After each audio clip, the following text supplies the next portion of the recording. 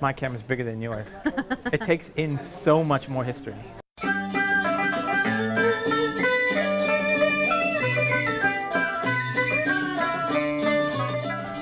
This is Lugang, Zhanghua, possibly Michael's favorite town in Taiwan.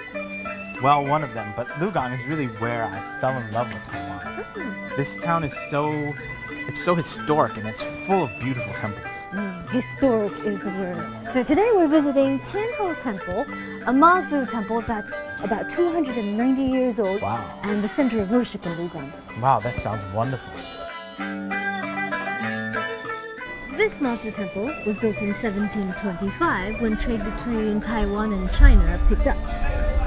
Mazu, the goddess, she is the protector of people who live near the sea or who have to sail on the sea, for example, fishermen. But before she became a goddess, she was actually a real person, a young woman who threw herself into the sea. I know this story. Her name was uh, Lin Moniang, right? Mhm. She threw herself into the sea to save her father. It's so different from the way that we would think about it where I come from, right? Yeah. And then, even more strangely, she became a goddess of the sea and not a goddess of Pai. Come to think of it, yeah, huh? Yeah. But in any case, people worship her, made statues of her, built temples for her, and there's this one saying where in the original Mazu temple in Fujian, there were six Mazu statues.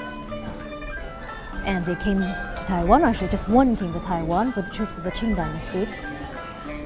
It's the one you see here, and the five that remained in China were actually destroyed before during the Cultural Revolution. So out of the six, this is the only one left in the world. So Michael, there are a ton of historical temples in Lugang. But next, I want to show you a new one, A new one. What kind of temple? another Mazu temple. Ah, can't get too many of No, those. no, no.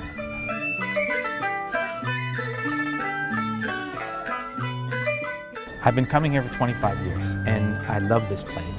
And for me, Lugang mirrors the changes that I've seen in Taiwan since I've been here. It started with, you know, oxes and wooden carts and now it's LEDs and glass.